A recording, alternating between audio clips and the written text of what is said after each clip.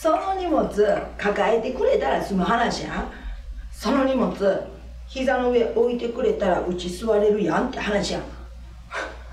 なんで目の前つり革掴んで立ってる人間おんのに一席荷物で潰すん？って話やん。もうほんま大阪のおばちゃんって感じやろ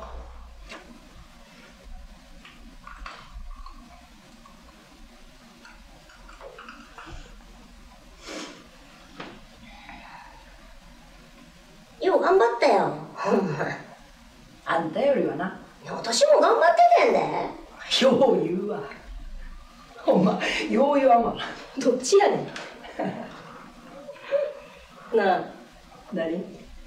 なんで35歳に戻りたいんどうやって？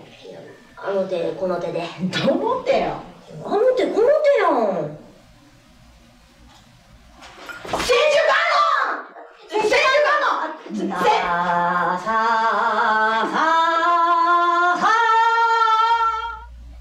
ばあちゃんはハイカラな人やったんよ。